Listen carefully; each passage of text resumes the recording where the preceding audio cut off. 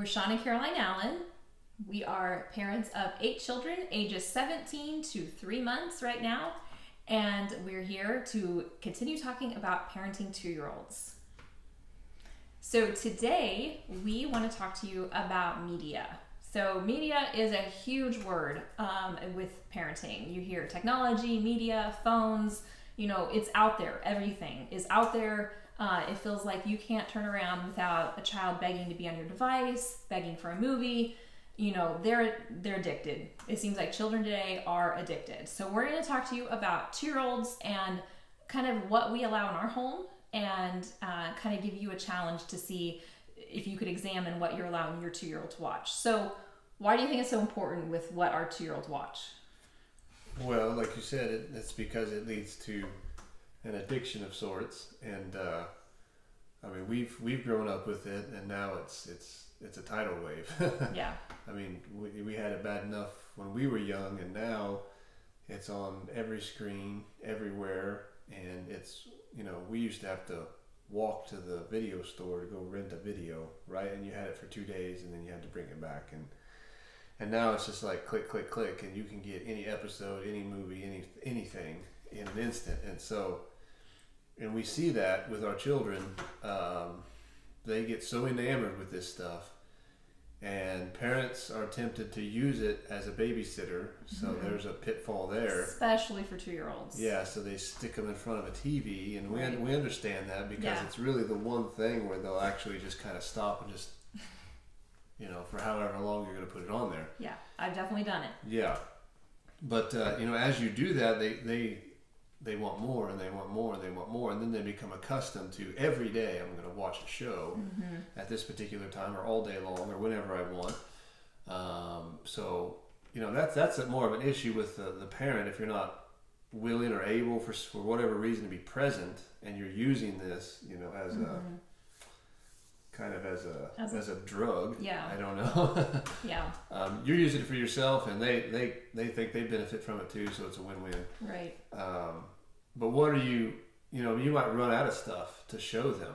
You might have this one. You might start with this one wholesome cartoon that you think is okay, and then, you know, some friend introduces you to something else, and then they're on to that show, and then they're on to the next show, and the next show, and the next show, and it just gets it kind of it can spiral out of control.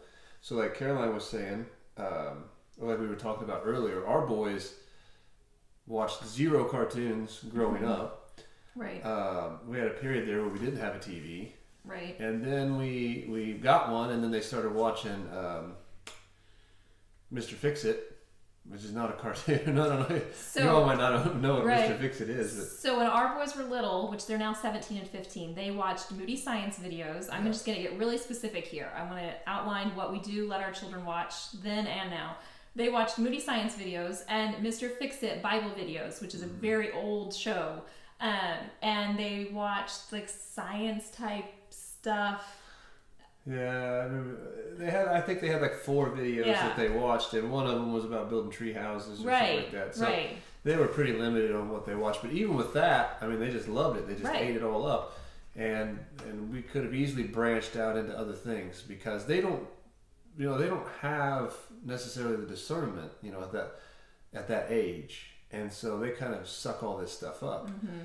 Now, you could definitely set them in front of something that was shocking or that would scare them, and you know, obviously we stayed away from that. But what we noticed is that with our current uh, Two year old. two-year-old, yeah, well, how old Sophia? Four.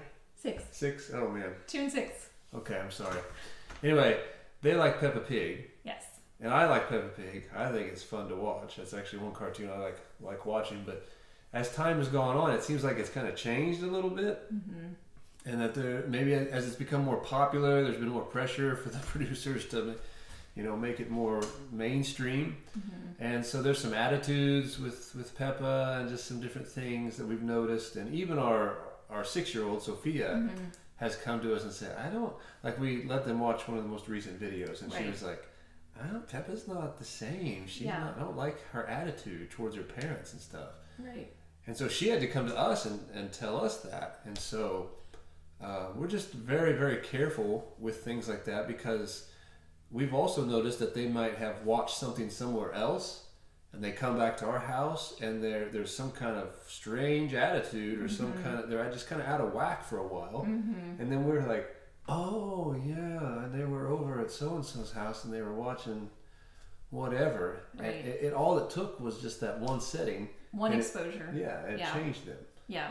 so So basically, we want to tell you to not worry about being too careful. I know today there's the pressure on parents to expose your child to, you know, life and culture and, and let them experience things. And I'm here to tell you shelter your two year old and don't be ashamed of that. Don't feel like you're doing them a disservice. If you get rid of the TV in your home, you won't be doing them a disservice. Um, we're not here to tell you to do that. We, we haven't made that choice, but uh, we are very careful. We have pulled back. We kind of went a little lax, and we keep pulling back more and more and saying, no, let's just not watch that. Let's let's turn this off. So we do Winnie the Pooh, we do Peppa Pig still, but we're trying to get away from the newer ones. Um, and we're really, really trying to encourage out, outside play. It's warming up. Um, instead of just saying, "Here, let's let's you know sit in front of the TV all afternoon," it's go outside and play and and limit what they're watching. Try and limit like they watch something with a family. Um, we watch Andy Griffiths in the evening or Bonanza or you know something like that. Try and get back to cleaner TV shows and and don't be afraid to turn off the TV and say no, you're not going to watch this. And they'll scream and cry and throw a fit because they're two, but you're the parent and it's okay to tell them no, you're not going to watch this. And when we have had seasons when we have totally shut the TV off for, you know, a couple weeks and we've just taken a media fast, that first week it's really hard. Um, our, our youngest, you know, children, they are just crying and begging, I really want to watch something. But then they adjust and they become so happy. That's what we've noticed. They are so happy without the TV. But it takes that adjustment period because it's like you're doing withdrawal. You're withdrawing them off sugar or a drug or something like that where you're like, I really want it. Um, so to sum up, don't don't be afraid to be careful with your two year old and don't be afraid to tell family members no to to even come to your children and say i did allow you to watch this but we've changed our minds and now we're not. Uh, it's hard because they're surrounded with a a lot of other people that might not share those values and might think that everything is, particularly with Disney, it's just so Yeah. harmless and so fun, so magical, and right all this stuff. That's that's Disney. We're very selective on on that stuff. Uh, we signed up for Disney Plus for a little while, and we are just like, no, we can't do this. There's Yeah. just there was like one or two things on there that we felt were appropriate, and everything else was kind of rubbish. I don't.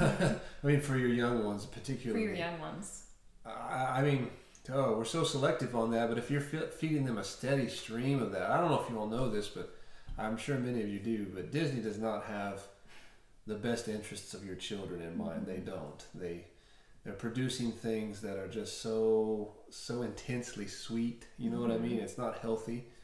And if you're feeding them a steady a steady diet of that media, uh, you can rest assured it's going to do something to their attitudes, to their spirits, um, to their countenances. Everything is, is being affected because they have they have agendas. They have th- there are belief systems in back of what they produce, and it's very clear. And I know because it's cute and it's cuddly, and the songs are so you know so memorable. You think, oh, what what could possibly be wrong with this?